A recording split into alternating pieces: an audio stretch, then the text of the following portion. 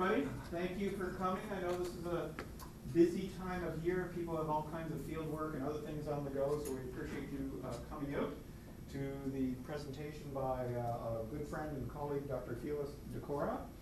Um, Felix is uh, from Tshwane uh, University of Technology in Pretoria, South Africa. Um, he did his uh, PhD at the University of Western Australia. Um, his supervisor of his PhD and the supervisor of my PhD worked under the same supervisor at the University of Western Australia. So that makes Felix and myself academic cousins. That's, that's, I think that's, that's the language we're using.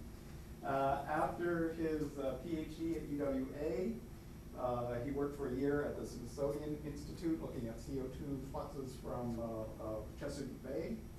Um, he then did a postdoc uh, fellowship with Dr. Don Phillips at uh, University of California, Davis. Don Phillips is a very, very famous person in plant microbe interactions, discovered some of the original signals going out from the plant to tell the bacteria, I'm here, I'd like to set up, set up a relationship with you, and Felix was involved with that research. After his stint at UC Davis, he returned to Africa, uh, initially as an appointment at the University of Cape Town, and I visited Felix uh, there a number of years ago, and then uh, currently to his uh, current position at uh, Pretoria. So Felix's title is there. I'm not going to uh, repeat it. you saw it on the flyers as well. But uh, it's, it's, a very broad view of look at legumes and all kinds of things that can do and how important it can be in terms of sustainability uh, in places like South Africa and elsewhere. And with that, I'll hand it over to Dr. Dakora. Thank you, Kevin.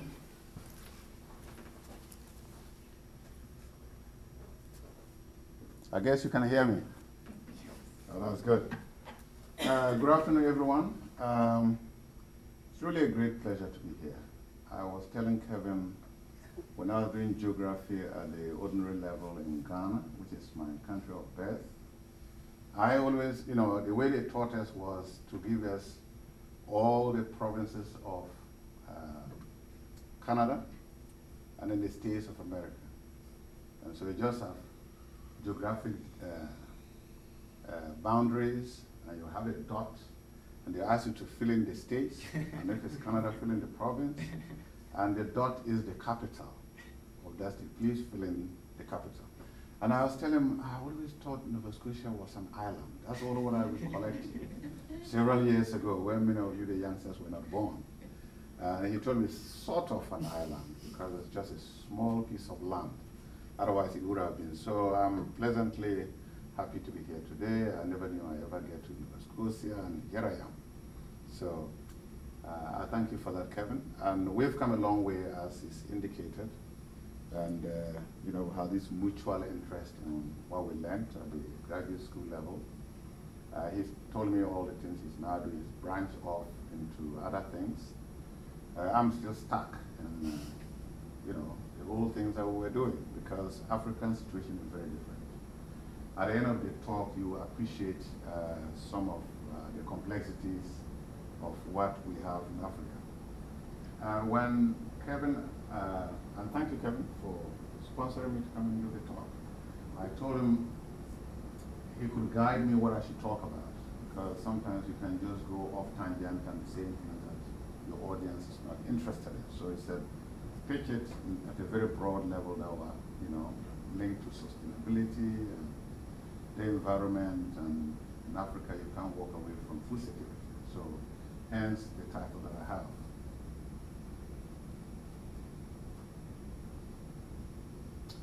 So basically what we do uh, in my lab and uh, in Africa in general, for most of us, uh, we're into the area of legumes.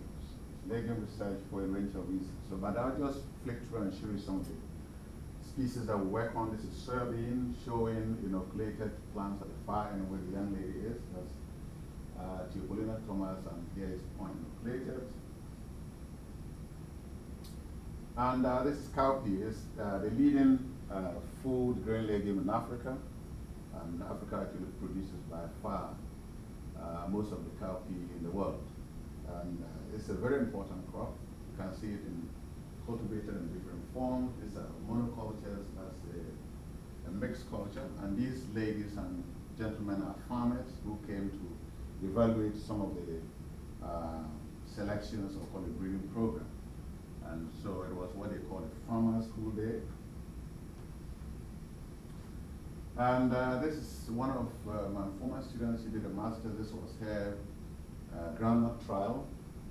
Uh, so she was just somewhere there trying to look at you know different genotypes. I think about 25 that were being evaluated for plant growth and water use efficiency, nitrogen fixation. Uh, this is one of the indigenous African legumes. It's called Bambara groundnut or Vigna subterranea. It's geocarpic, like groundnut. It forms pus in the in the soil, so you have to dig it out and show it up so that people can appreciate uh, the kind of yields you can get from some of these uh, species. Obviously, these are often crops in the context that they are underutilized, they are under-researched.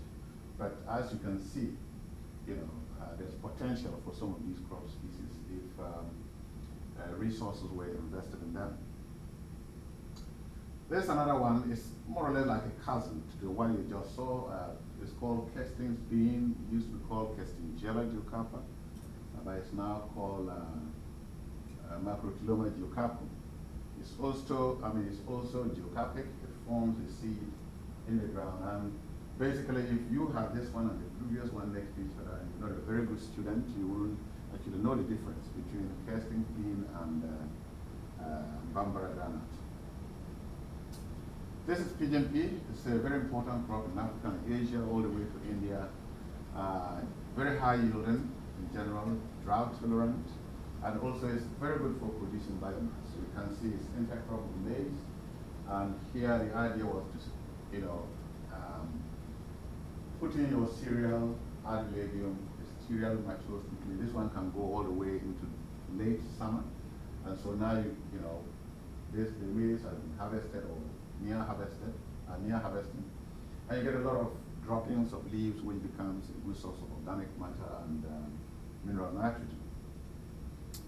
This mung bean, um, uh, Vigna radiata, again, we work on that one too. What I haven't told you is that we're working on so many different types of legumes for a range of reasons. One is that South Africa is uh, probably not as, you know, um, a melting pot in terms of human origins and, you know, the diversity of people, but we have our fair share of Asians in, uh, in South Africa. In fact, um, outside India, the next, the next country with largest concentration of Indians is South Africa for historical reasons, just as you have African Americans in the US, so we get Indians in Durban. It was a major sugarcane plantation area, and so people were brought there to work on the sugarcane plantations. So we have anything up between four and five uh, million Indians uh, within Durban, uh, never mind the other uh, uh, components of the Indian population. So now, why do we study all these legumes? Uh, to contextualize it, it's just because we have too many problems in the continent. we have food insecurity or food problems. We have got, and as a consequence of that, we have protein, calorie, malnutrition. That often occurs when you have very low food intake famine. And the continent is also, as you probably know, is the oldest continent on the planet, and so the soils are highly infertile. The older your continent gets, the less fertile the soils. Uh, somebody ever told me when I was giving a talk like this, say, well, you know, you're asking too much you know, the soils are infertile because the continent is old, but you've got all the minerals, you've got all the oil, you've got all the gases. What more can you ask for? And I said, yeah, I wish we could still have, you know, those soils in the continent rather than what we currently have. And uh, in addition to protein, calorie, and nutrition, we also have all sorts of other physiological disorders. That includes uh, trace element deficiency, which is to be expected. Once your soils are nutrient poor, it means food crops that are grown on those soils are bound to be deficient in many of those minerals. There's diabetes, which is again also related to uh, you know living style and nutrition. Uh, we have kwashiorkor in children. It's a word that many of you would know. This disease was discovered in West Africa. It's just wasting away of a child when there's inadequate uh, nutrition. When there's famine, there's limited food intake, the child cannot develop this and tends to, you know, develop a, a, a big pot belly and shrinking limbs and hands and what have you. It's not the best condition to see any child in. So all of these actually become a challenge to us as uh, biological scientists and those working more specifically within um, agriculture. And I was just saying about the uh, infertility status of the African soils, and this is from um, uh, news feature Nature. It says the key to tackling hunger in Africa is enriching the soil. The big debate is about how to do it. You know, somebody's going to say fertilize, dump a lot of fertilizers and harvest good yields Others say, well, you're going to damage the environment. How about if you look at the alternative ways of overcoming the problem? So that's currently a debate. Nobody knows which way to go. We all think we know, but others will tell you different. So essentially, this shows you that the African soil, although it looks dark, actually, uh, to a first year student in agriculture, you wouldn't say this is dead poor. It's quite looks like a nice dark soil, but essentially there are no nutrients. I think this photo must have been taken in Europe just to show that. So what are the options to Africa? Or otherwise you have the question, who is, where is Africa going? And some of us believe that uh, in that debate as to what approach to use, there are good biological options. And one of them is biological nitrogen fixation. And uh, we think, uh, personally I'm convinced that it is the key to Africa's food security and nutritional problems.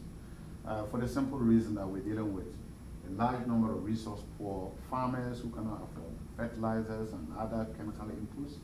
So this tends to be the cheapest way that you can actually tap uh, atmospheric nitrogen for agricultural development.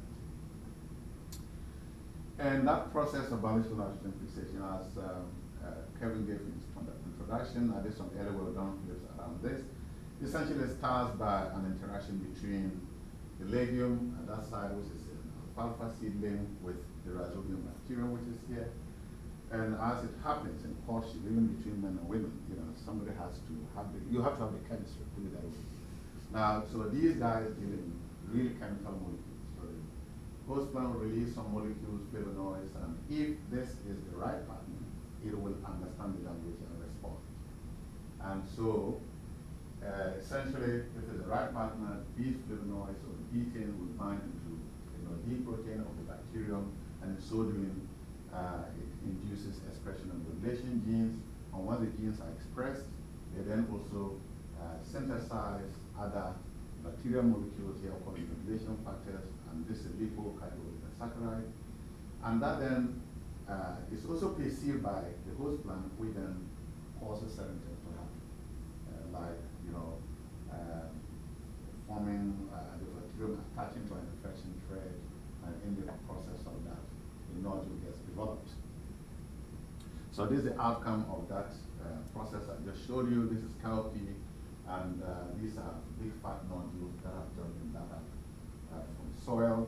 And it is in these uh, nodules that nitrogen, that nitrogen is fixed or reduced from uh, N2 to ammonia. And when the ammonium is formed, the bacterial cell uses what it can to meet its nitrogen requirements, and the excess ammonia that's left, because ammonia is toxic, it gets pumped out of the bacterial cell into the host plant cell, where then the whole plant uses that to make a lot of nitrogenous solutes, including the amino acids. And so this where, and of course, in return, the bacterium in doing this requires a lot of ATP, and that normally then will come from the carbohydrate that the plant has, um, you know, transferred to the bacterium. So that's where the symbiosis comes in, this kind of give and take. And, and it is uh, the basis of this uh, ammonium that constitutes a lot of what I'm going to talk about. So essentially, I see biological nitrogen fixation as a unifying solution to Africa's problem when it comes to food security and uh, some of the environmental issues. In that nitrogen fixation does contribute to the nitrogen economy when the plant, uh, you harvest the grain, the residue that's left is a biofertilizer. You can plow it in and it will release nitrogen for subsequent crops. But nitrogen fixation can also increase soil fertility other than nitrogen. I will get to that later. And uh, nitrogen fixation does contribute in many ways to plant and animal protein, either directly or indirectly. Directly when the plant takes advantage of the ammonium that has been released by the bacterium to increase its protein level. and it becomes a good source of uh, uh, plant protein for us humans. And of course, if you have pasture and forage legumes and animal feed on that, that's also you know high protein feed for the animals that uh, makes them uh, produce uh, good animal protein for human consumption. And uh, nitrogen fixation also increases, uh, can increase legume cereal yields, uh, either within an intercrop situation or when you do uh, crop rotation. And the last but not least is that nitrogen fixation can be used to overcome trace element deficiency uh, within uh, uh, rural communities. Now, if we take the role of nitrogen fixation contributing to soil nitrogen economy, here we have a slide that shows measurements of nitrogen fixation in 25 cowpea genotypes of varieties that were grown in three locations in Africa.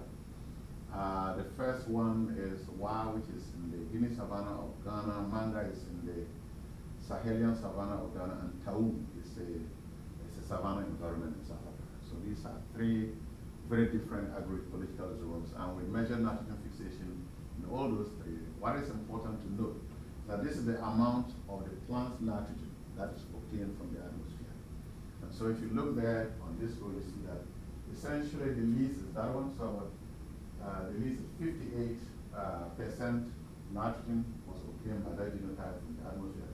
So in Wa, you can say all the cowpea varieties are obtaining an awful amount of nitrogen from symbiotic nitrogen fixation. You come to Manga, that's less so. Some of them, many of them, I would say, are below 50 percent uh, in terms of meeting the nitrogen, nitrogen requirements. And if you come to Taung, South Africa, again, you get a very high figure. So I mean figure. So this actually indicating that uh, these uh, genotypes or varieties are fairly high in nitrogen fixation, especially at Wa and, uh, and Taung. And uh, if we look at the actual amount of nitrogen fixed, which is measured in, uh, in kilograms nitrogen per hectare, you can see that it's quite substantial. Those are the indications of which uh, localities we're looking at. The first one is Taung, second one is Manga, and the third one, uh, Mola Zebra, is one. And clearly you can see that uh, many of them uh, were very effective in uh, fixing nitrogen. We just put this artificial line as a cutoff point for 100 kilograms nitrogen or more that were fixed. And yeah, there's quite a number of them that have gone beyond the 100 kilograms nitrogen uh, you know, uh, mark uh, clearly showing that these legumes have huge potential to contribute to the national fertility of cropping systems and for that matter to contribute to the nitrogen economy of, of soils. This slide just gives a measure of what has been done in other African countries. Again, this is on cowpea. And you can see strong variation uh, between uh, or amongst the genotypes that were measured. Somewhere you have Zimbabwe as low as 40, 29. So it depends on the legal genotype you use and the effectiveness of the symbiosis. You may get huge amounts of NFIX or very low amounts of NFIX. Of course, but these values are also influenced by the methodology that we used. But anyway, whatever it is, it's just a summary slide to show what the situation is um, in other parts of the continent. This other one is another continental uh, table. It's showing soybean, uh, and again, as this work was done on station, research station, and you can see the range of nitrogen that uh, was fixed or has been fixed, and these represent the techniques used and the references. Now, in general, most people in the area of biological nitrogen fixation tend to think that uh, for whatever reason, nitrogen fixation in farmers' fields might be very low due to the way that, especially in traditional agriculture, the way that uh, they do their planting, the way they manage the cropping systems and whatnot. So we did one study uh, somewhere in, in Ghana in a number of villages, those are the villages listed there. That's the planting density. That's one thing that you will appreciate. But once farmers are using very low plant density, they cannot actually uh, maximize on this biological nitrogen fixation for soil fertility. Because they, you may get one plant here, one plant over there, and plant. At the end of the day, that has zero very little not zero, but very minuscule impact on nitrogen contribution. But for its worth, we just wanted to show that indeed on these farmers' fields, uh, cowpea species were obtaining an awful lot of nitrogen from the atmosphere. However, the amount fixed just in the shoot generally look very low because of uh, the planting density. The planting density actually. Otherwise, biologically, there's nothing uh, in the biological process of nitrogen fixation is in no way, um, you know, altered or reduced on farmers' fields as uh, indicated by it's called the percentage of nitrogen derived from fixation. And so now, with what I've just shown you, there is ample evidence that we can tap into this biological nitrogen for increasing crop yields. And this slide gives uh, a sense of that. This is maize grown after maize, and this is maize grown after PUD. You can see, you know, just uh, visually that this is by far a better crop compared to that one. And if you're a resource poor farmer, you better go in uh, on this kind of fruit, this kind of technology where you plant legumes after, I mean, plant uh, cereal like maize after legume, as here rather than continue to plant cereal after cereal after cereal. But then you deplete the soils, and that leads to much more lower yields. But we did some studies long time ago uh, in Ghana where we actually could quantify the benefits of nitrogen fix. And here we have groundnut, 101 kilogram nitrogen with fix, and following uh, harvest of the grain and all of that. Uh, the legume residue has 68 kilograms nitrogen, and uh, following um, the planting of a cereal crop that was maize, we could quantify 41 kilograms N as the benefit directly that went into um, uh, increasing the yields of the following crop. And we found exactly the same thing with, uh, with cowpea. And, and so these benefits are quantifiable.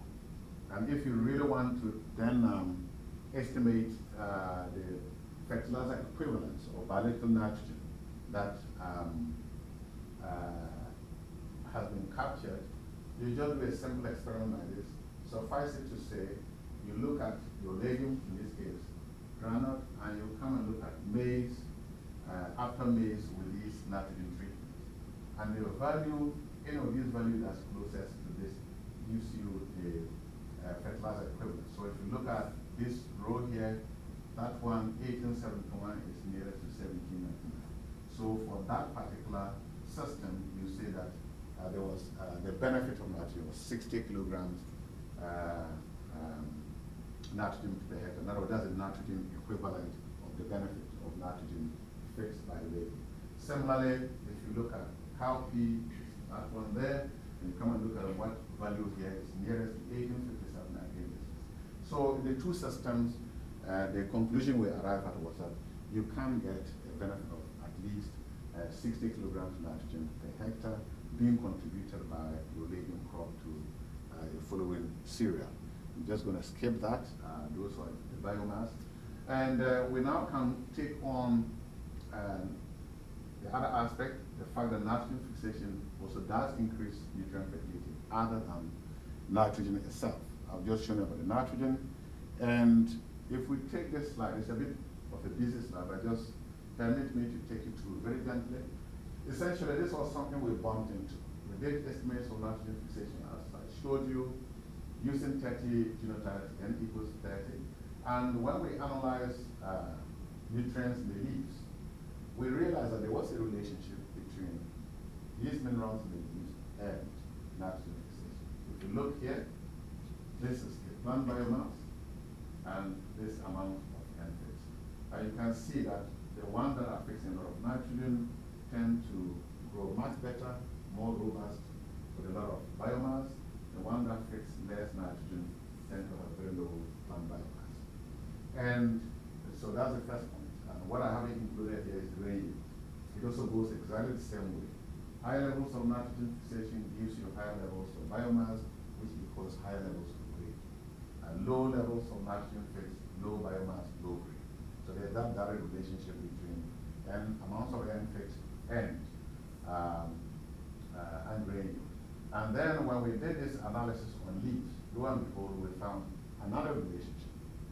Uh, we could categorize this work into high fixers, intermediate, and low fixers. But for brevity of presentation, I just chose three high fixers and one low fixer.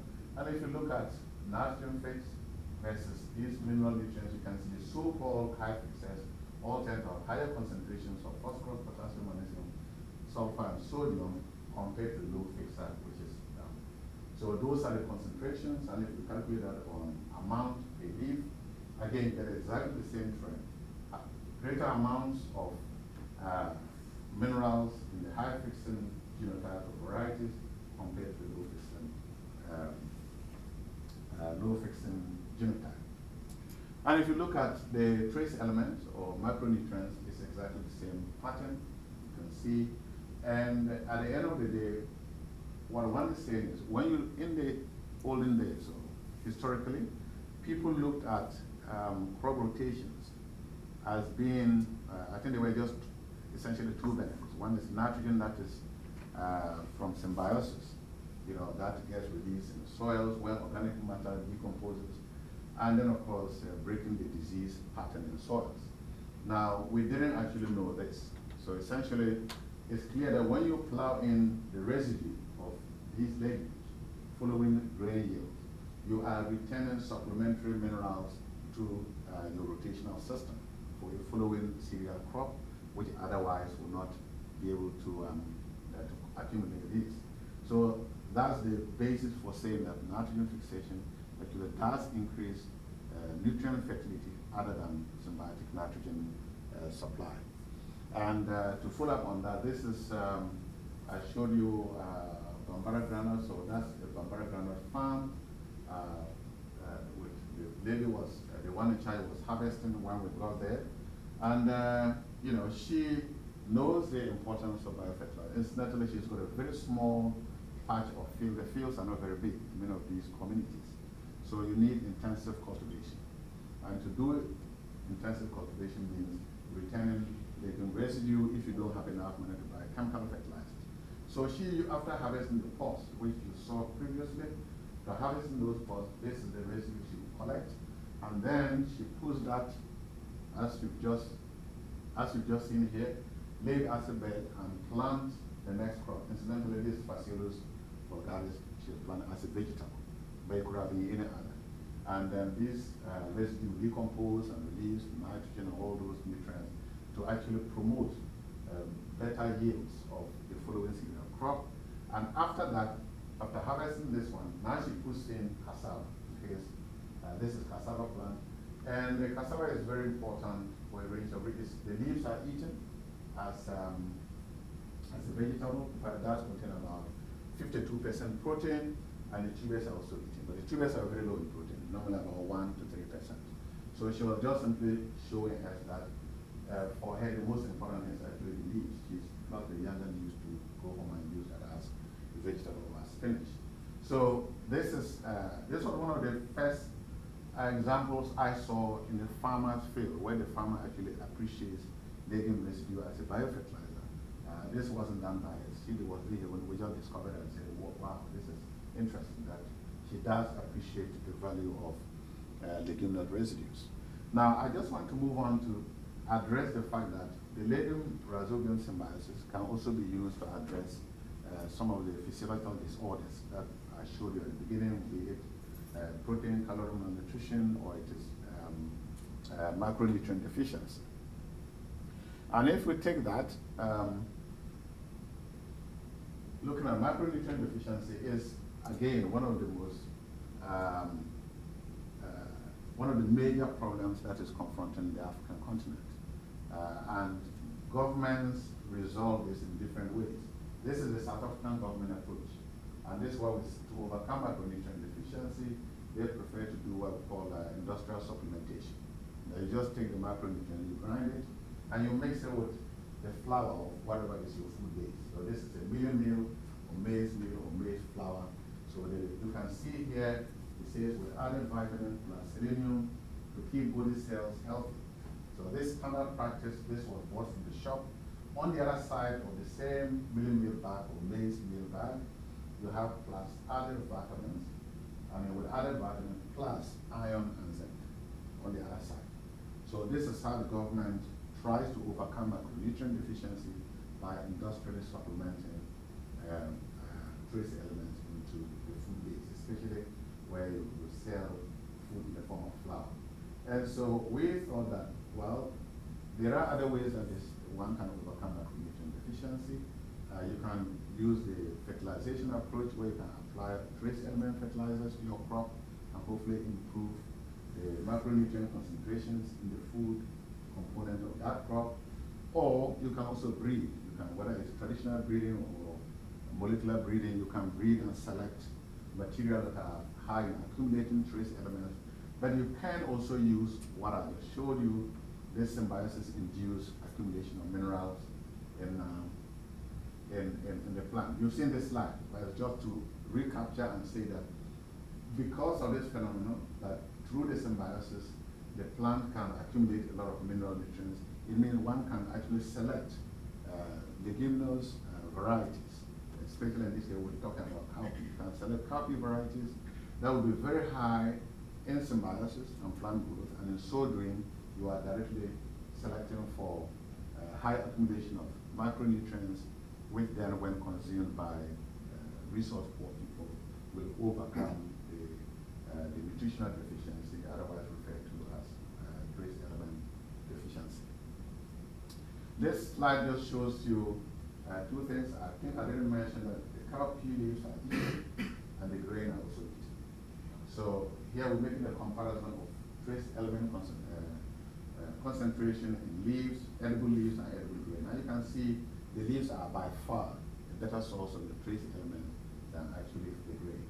And in Africa, most of the food preparation from cowpea actually involve using cowpea flour, some most often mixed with uh, vegetables such as uh, cowpea leaf. So if you take that and you mix, take the leaves and mix with the grain, then you can imagine you almost getting the composite of the data that you have on the slide. And indeed, when you go to rural areas where children are growing up in communities where they have these sort of legumes, those children don't suffer from trace element deficiency because of the kind of nutrition that they are getting from, uh, from their diet. And so this, uh, then the next slide actually try to compare, this is spinach, which is commercially sold in, uh, in all the shops in South Africa. And we just compare the value, the dietary value of spinach and cowpea in terms of trace elements. And you can see iron and manganese in particular are strikingly higher in uh, your cowpea uh, leaves compared to the commercial spinach which they sell in the food shops. And so again, uh, we think it, it would be a great idea somebody to actually get into business and sell your sell cowpea spinach instead of calling you just say it's cowpea spinach. And you, you be increasing your uh, iron content and manganese content at least um, uh, when it comes to those two in particular. And the other thing is that because, as I've said, all these legumes are nitrogen fixing, and in the case of cowpea, it's a nitrogen fixer. We saw the levels that some of them can fix. It therefore means that the leaf protein levels tend to be very high. And this one slide shows you that uh, top one Soronko, that variety there, has about 40% leaf protein. So once more, if you feed on that kind of cowpea uh, leaf, uh, the potential, of course, I'm not talking about bioavailability, we know that's a whole new topic. Whether these uh, trace elements or the protein becomes available, uh, it's another story altogether. You need to do clinical studies. But at least they have the potential to increase consumption and hopefully uh, absorption of these um, of the trace elements and in this case of, of uh, increasing the protein, meeting the protein requirements of the body. And so they do have different levels of leaf protein depending on the efficiency of the nitrogen fixing symbiosis. Uh, this was uh, were done at a while. We just look at another one as this was why in Ghana, this is Tawi in South Africa. And you can see a different genotype bempla at the top, also the leaves uh, contain about 40% protein, just again indicating the potential for using uh, you know, cowpea leaves as a source of uh, uh nutrition for meeting the protein requirements of uh, rural communities. Now, I, I showed you the slides about the symbiosis-induced mineral accumulation. Now, what I, I, what I haven't explained to you is the basis for it. I just said, okay, you fix a lot of nitrogen and you can see a lot of minerals. So, because these were field-grown plants. The next thing we then did was to try and understand uh, what is the basis for that. And the only way you can do it is to now take strains, rhizobium bacteria strains, and grow plants in microbiologically controlled conditions in the glass house where you inoculate you know, your legume with specific strain and then monitor the nitrogen fixing efficiency against mineral accumulation in order to understand what actually uh, is responsible for that.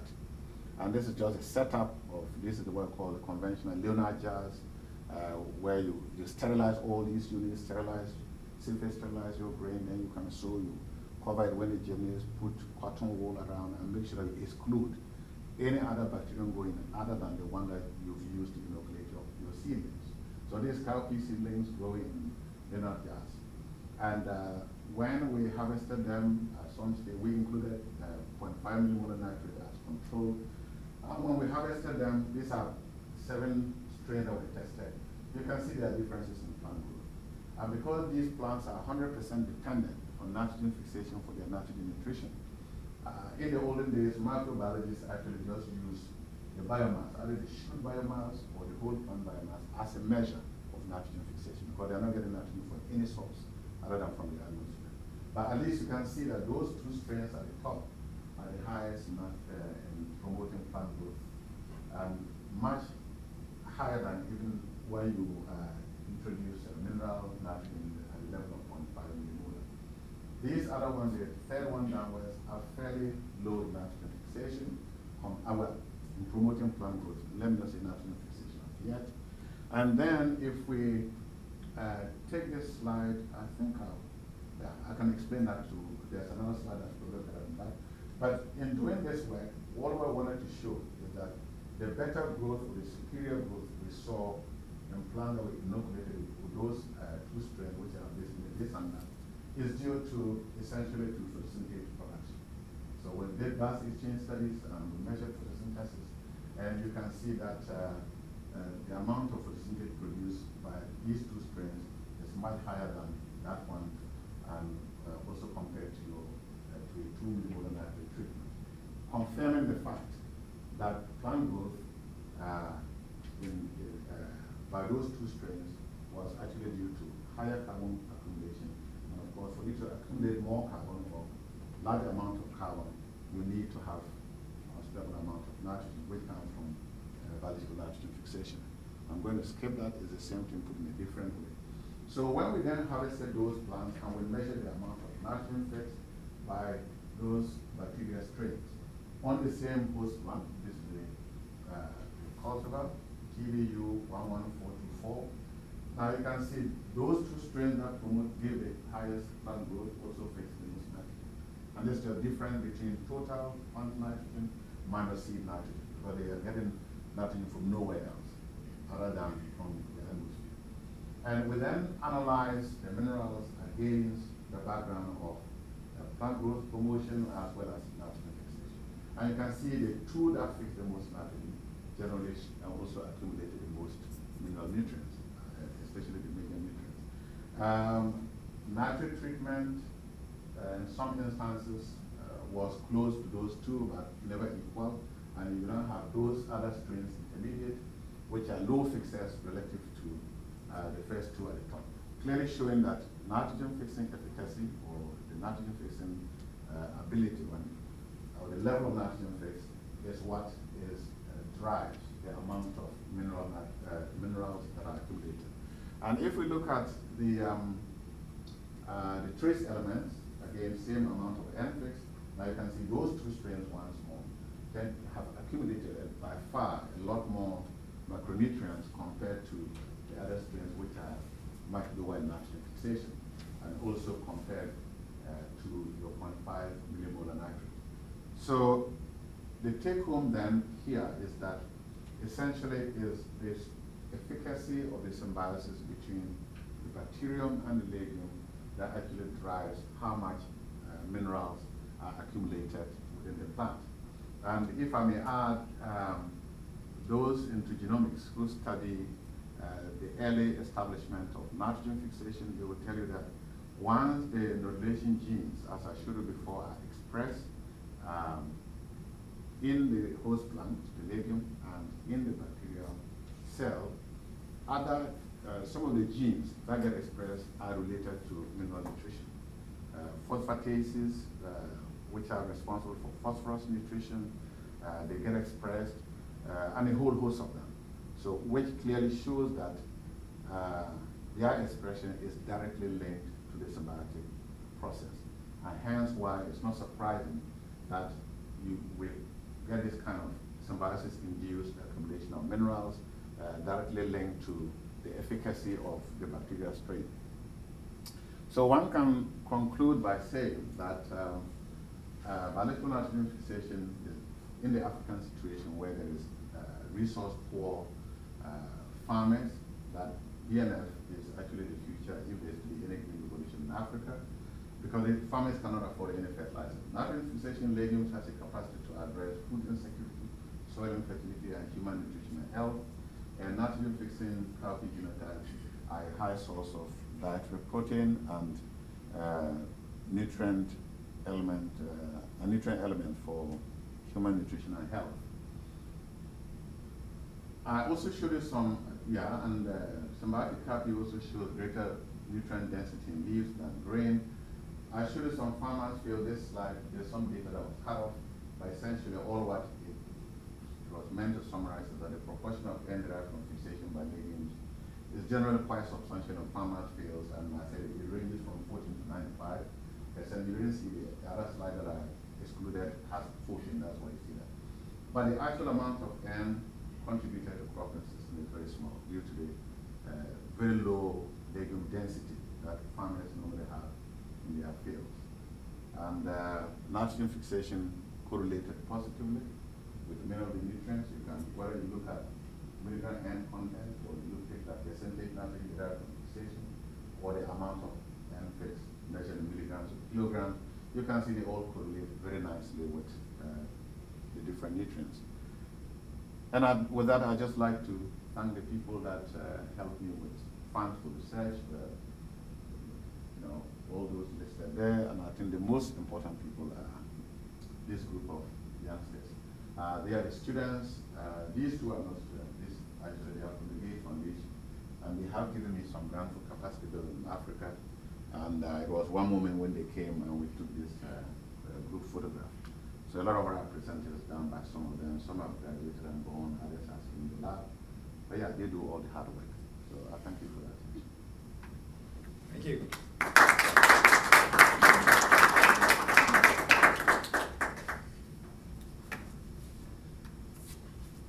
Good on you. So I'm sure Felix would be happy to answer some questions or enter a discussion if anybody's interested. Yep. Tony. Uh, thank you. Uh, very interesting. Uh, I, I, I understand. I, I mean, I don't understand uh, much about agriculture, but uh, but I, I think I understood your point about the idea of. Uh, I mean, I, I take it that the your recommendation would be to increase the amount of legumes being farmed. What every pretty much everywhere in the African continent, or or is it more in some places than others that that would be um, beneficial? No, no, actually across the whole continent. Yeah. I mean, Africa is big, but it's virtually the same when it comes to the problems. Uh, I think outside South Africa, which has um, a fairly uh, advanced uh, agriculture, the rest are more traditional systems. And so if you're going to promote uh, crop yields, uh, you don't have money, then your best bet is to go with legumes. So yes, we are promoting the legumes at all, uh, I mean, across the board. Even the sophisticated uh, commercial farmers, they will tell you nitrogen fertilizer is bloody expensive.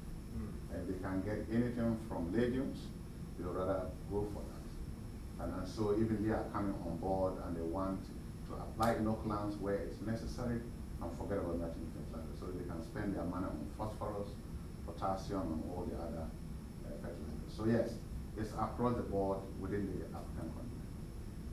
That, that gets it, that sort of, the second part I, I wanted to ask you about is the, uh, the economics of doing that. Mm. And, and what you just alluded to is, is right on what I was wondering. I guess from a subsistence point of view, I can, I can see, you know, that this is very clearly, and you've got all the data showing that why that's good from a food production point of view, from subsistence.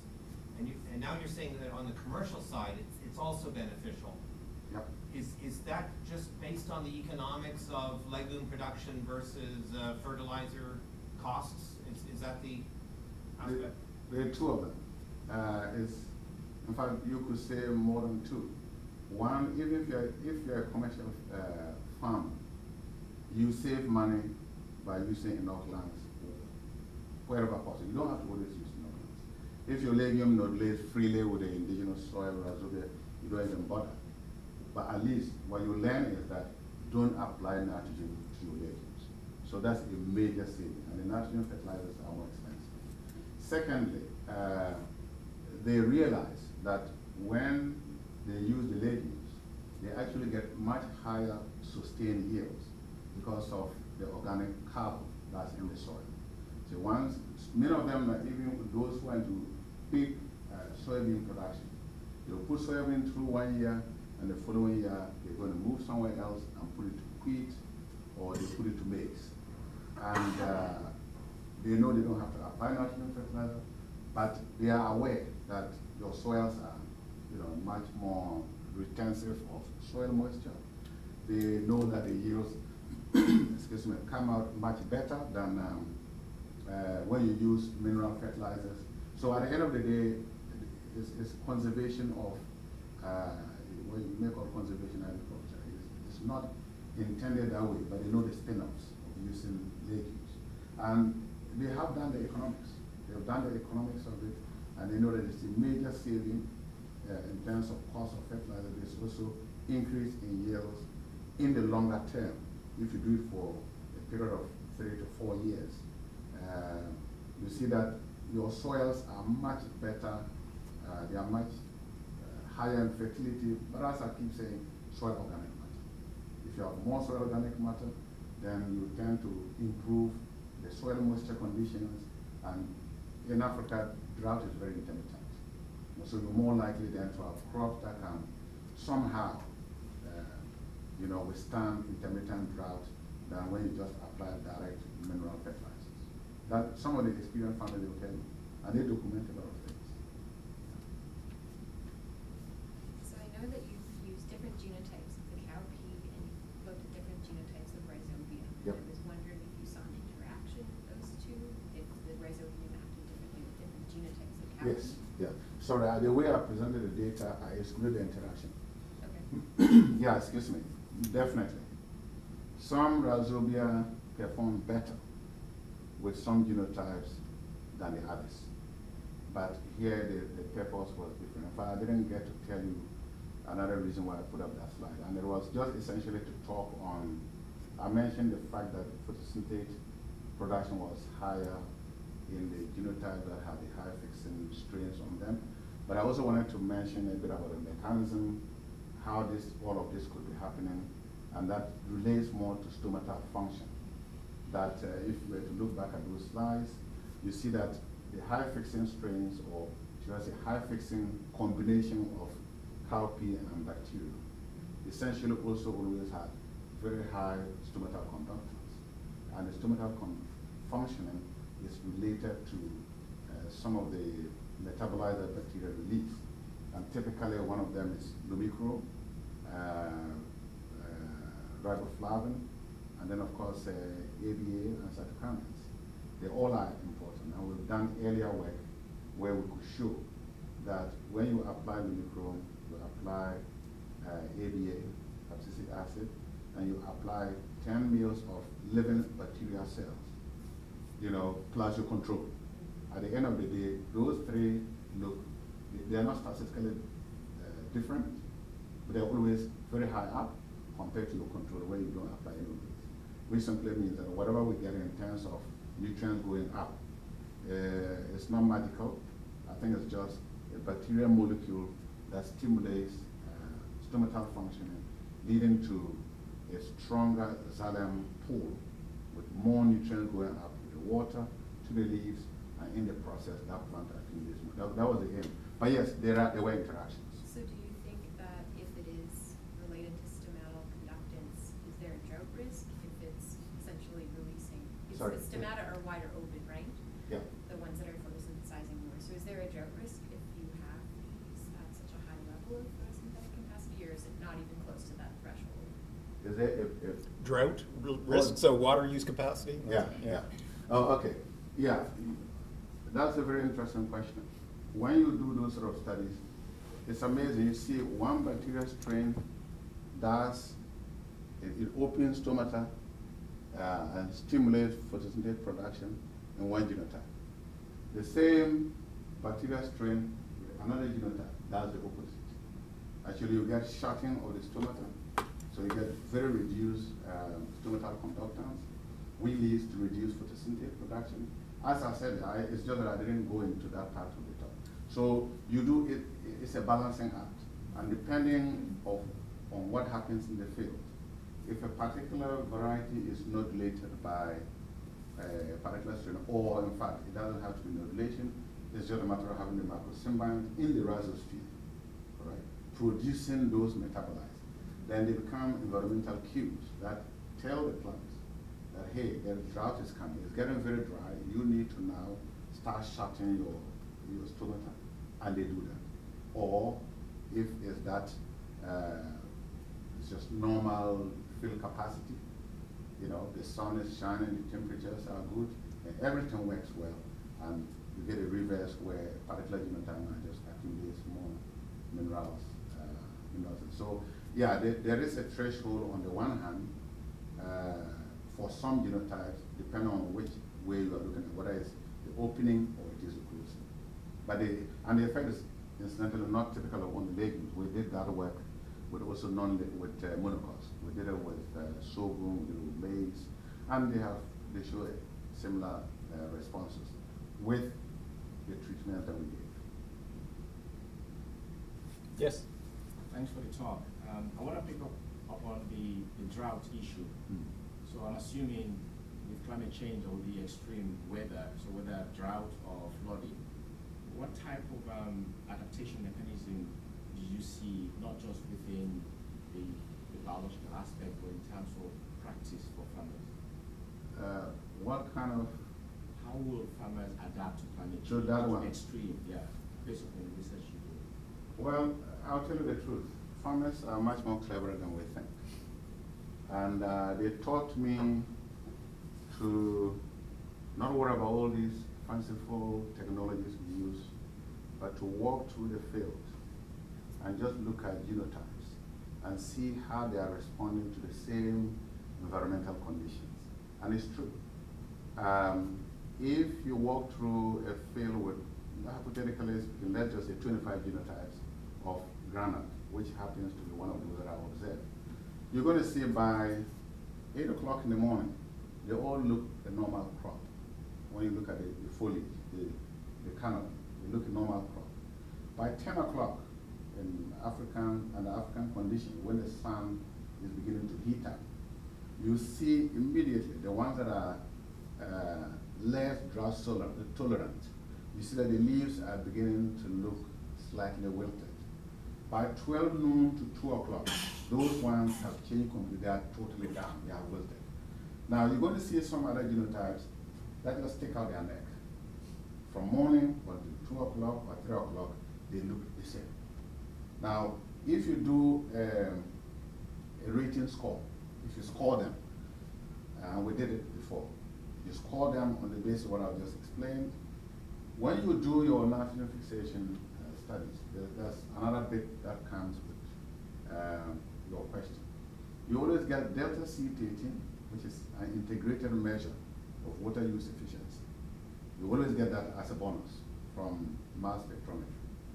And so when we did those uh, studies, uh, the mass spec analysis, you know, it was interesting to see that the genotypes that wilted between 8 o'clock and 2 o'clock, they've gone down, of course, gradually, versus the one that stood up strong all the way to this. There's distinct, sharp differences, statistically huge differences between the delta values.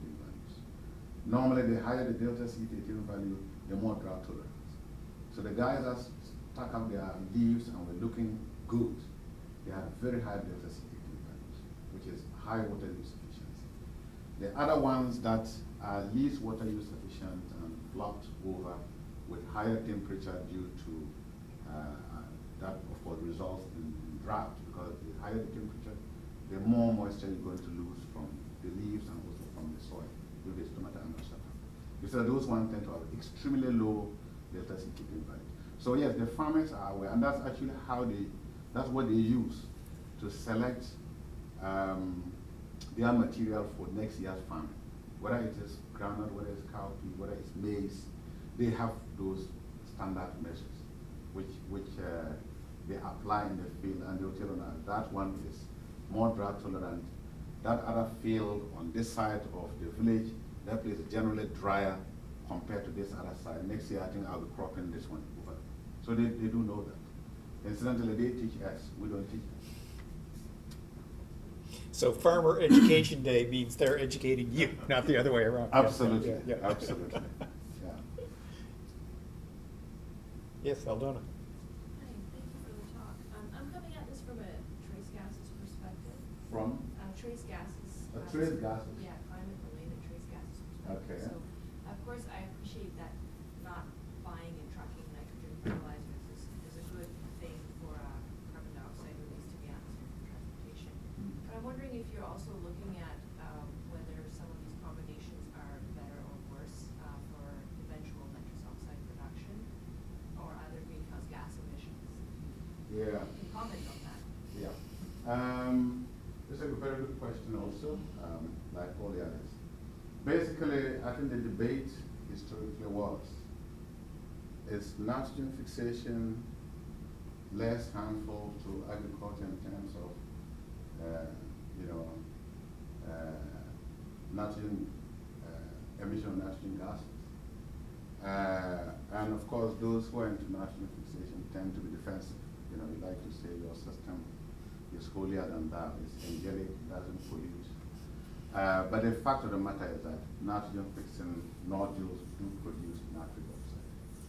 I think the fundamental difference, though, is that you need to have an ample lot of nodules, you know, massive nodulation everywhere in order for that to compete with, for example, if you put in uh, farmyard manure uh, as a case study, or if you put in uh, nitrogen fertilizers where you run into conditions of uh, waterlogging if it rains or if a sudden place is flooded you know denitrification takes place rather than nitrification, uh, or if there's organic matter and again get some the whole week it's been raining and all your soils are flooded. Organic matter cannot mineralize. You know, the, if there's anything at all, it's going the other way of denitrification. So it's still safe to say that the legumes are relatively less uh, nitric oxide emission from nodulated uh, legumes. It's still much less from the field studies that for it compared to where people either apply uh, farmyard manure like cow dung or you, you, you fertilize with uh, directly with mineral fertilizers. But yeah, I haven't measured that. Uh, it's something, but um, we are all conscious of it. We are aware of it, and and it's good to just say that look, they also pollute. Right? The, why we don't get much more from it is just because you need a massive nodulation all the way around in this room for you to get uh, a significant contribution. But if you take it on a global scale, yeah, you, you're going to end up with a figure, there will be a figure for legume. They are also concrete. Just like it's a lower level compared to the other uh, uh, methods of fertilizing croplands. Yeah, oh, and of course you have to consider the farming system as a whole as well. Yeah. Um, for emissions across the board, not just from one particular aspect. Yep, that's correct. Okay, thanks. I'm going to take the privilege of asking the last question, Okay. which is, you could snap your fingers and Mhm. address what you think is the most limiting factor to the expansion of biological nitrogen fixation through legumes in Africa, what would that be? And maybe Africa is too big. Let's talk about your South part of Africa. South Africa. Yeah. What what is the like you referred to density, low density, which I don't understand why it's so low. uh, But what what is the limiting factor to expansion of BNF in South Africa? Okay, uh, let me just take the minor point here. Once you say you don't know why the density is so low, it's just because of um, uh, not wanting to put all your eggs in one basket. You know, climate change has been with us for a while, just that it's, it wasn't seen. The situation didn't magnify itself the way we see it today. But over from the 60s, you know, up till now, there have been these, uh, I don't know how to call that, uh, cyclic events, if one can call it so. They look cyclic. I'm not entirely sure they are cyclic, I haven't done the diagram. But I just know one year you can get terrible rainfalls. You know, the whole place flooded and dams are breaking. Then another year is all drought. You know, you don't get any very minuscule rain and there's, you know, so you go from one extreme where there's hunger to another extreme where there's hunger. and so when the farmers go to plant, and because they generally do intercropping, what they tend to do is they say, you know, let's throw different crops into the same plot, but we have to maintain the distances because if you're going to get them too close and there's drought, you're going to harvest nothing. So hence why they, they, they actually have very low Hmm. densities. You know, they, they follow. And, and again, as I was saying, they're not stupid, they're very clever. Because when it happens, you go to your farm and see a maize plant is literally dead before it reaches this height. Dead. Because there's no water. But you can look and say, oh, the legume is looking good. And you turn, unlike if it's geocarpa, you see that, no, there are some pods. And if it's cowpea, you look at it, there are some pods forming. Some obviously abort. Flowers will abort. Some pods will also abort in the process, depending on the stage of development when the drought, you know, set in. So it's the farmer's way of making sure that at least they can harvest something from the field in the event of complete, uh, you know, uh, rain failure, or should I say, prolonged rain failure. But coming back to your actual question, um, what is stopping biological nitrogen fixation from being utilized to increase crop yields? I think at the, really at the end of the day, um, the first one will be just that which I've indicated. If you're going to tell farmers to uh, put in a lot more legumes to increase the density of legume in their cropping system, then you have to give them a bigger piece of land. In many instances, in very few places, the farmers have the luxury of uh, hundreds of acres. Somebody's farm size is a farm is the size of this this place. That lady I showed with the cassava, her patch is very small, and the patches are located. So the only way you can expand your uh, land under cultivation is to beg your neighbor whose land has been lying there not cultivated, if they will allow you to, to crop it this year. If they allow you, then you can do that. So I think first and foremost is dictated by the size of land in many instances. That you, if, if there is, yeah, no, let me just leave it that way. It's dictated by that. Secondly, we as the uh, plant scientists or agricultural scientists, excuse me, have not tailor-made genotypes that can fit into the shorter rainfall uh, pattern of the environment. You know, I mean, I was surprised when I was at uh, Saskatoon for a conference from which I came here. Now I see they only have a growing season not just three months, and they're able to get a bumper harvest for that. You know, what struck me there was why can't we have genotypes of the crop, various crops that we grow in Africa for a shorter season? So we can't tell when it, it's not like here. Here, okay, your system is fairly fixed. You know when it's going to be winter. You know when it's going to be summer. And you know when it's summer, you're going to get your summer rains. If you don't get it anyway, the snow has melted and the soils are still looking good. Uh, the African situation is different. One year the rainfall can shift from, it may start in April and continue and maybe stop in June. Uh, if you put in there, you harvest. If you didn't put in, nothing comes until August, you get rain again, and that stretches to mid-October and it stops. So it's quite unpredictable. But having said that, the major constraint, in my view, is that we haven't, the agricultural scientists haven't come up with genotypes that are tailor-made for very short seasons. Uh, cowpea, there are 60-day maturity cowpeas. So if you've got two months of reasonable soil moisture, you can get a good crop of cowpea. Okay, but not all the farmers have that. You know, some I know that because I'm working with cowpea. The farmers have some farmers have got some, the majority don't. If you go to groundnut, it's the same thing.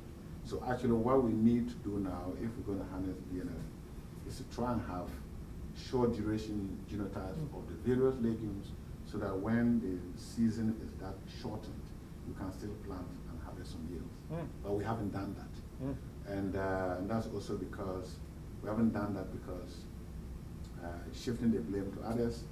You know, African governments are not terribly serious about food security. They're just happy to get aid from here and there, and, and that is it. You know, if a government is serious about food security, it means all the structures of government that are involved in, in food production will be talking together, the so-called stakeholders. But they are not. And so everyone, you know, does his own thing. And at the end, we, we, we don't get the benefit that we want to get from BNF. But I think the Gates, uh, Bill and Melinda Gates Foundation, have they funded an- an N, it's called N2 Africa project. And that's to uh, stimulate uh, legume production in Africa, or to stimulate the uh, dissemination of legume technology to small-scale farmers in Africa. Uh, it was funded at 21, excuse me, 0.9 million. It ended last year. I just had, you know, uh, Saskatoon, they've been refunded with 30 million for another five years. So hopefully, what we're discussing is what they are going to do. I've seen some work that I'm, well, or should I say, I'm participating in some work, which is developing legume innovations. And essentially, you take uh, genotypes, for example, that are high fixing, maybe drought tolerant, and you go to a farmer's field, and you can get, I know one uh, trial in Mozambique has 250 farmers. So you go, if it's a farmer, you got to say, look, we've got five genotypes of cowpea, you grow in one, put in yours, and plant it with our five. We will come and help you from time to time to, and, uh, you know, we talk about what we are seeing together. And you do that with 250 farmers. Now, at the end of the day, the farmers discover that their own genotype, I've seen that uh, on two trips, their own genotype is not doing well compared to the three elite genotypes that have been brought in from research stations. Uh, and that project is funded by USAID.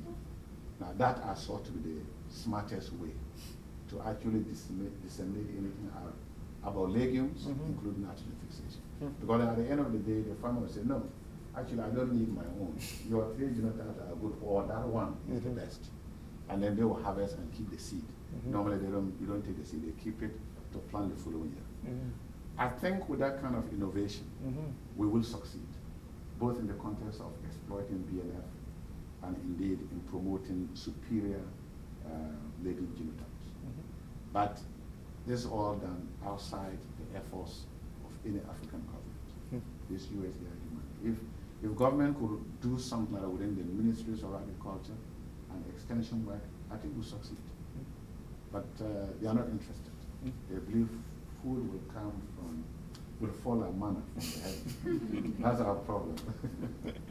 Well, uh, please join me again in thanking Felix for a wonderful presentation.